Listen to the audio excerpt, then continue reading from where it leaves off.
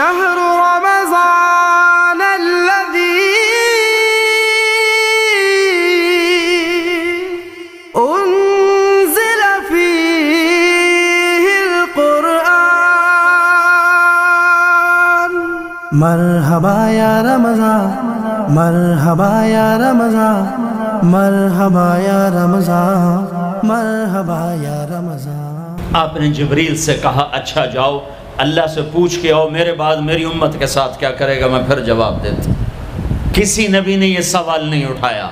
آپ نے سوال اٹھایا۔ جبریل واپس آئے۔ کہ یا رسول اللہ اللہ فرما رہے ہیں، آپ کے بعد آپ امت کو تنہا نہیں چھوڑیں کہ بس الان قرت عینی، اب میری آنکھیں ٹھنڈی ہیں۔ اللہم الرفیق الاعلیٰ، اے اللہ، مجھے اپنے پاس بلا لے۔ اور پھر آپ نے دو باتیں فرمائیں، دونوں توڑ کے رکھ دیں۔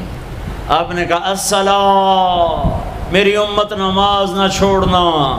بتاؤ کتنے لوگ کراچی میں نمازی ہیں؟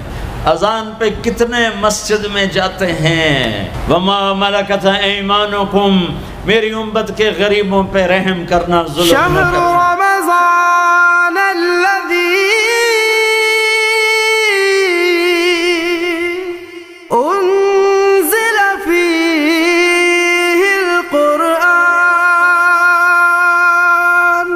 مرحبا یا رمضان مرحبا یا رمضان مرحبا یا رمضان مرحبا یا رمضان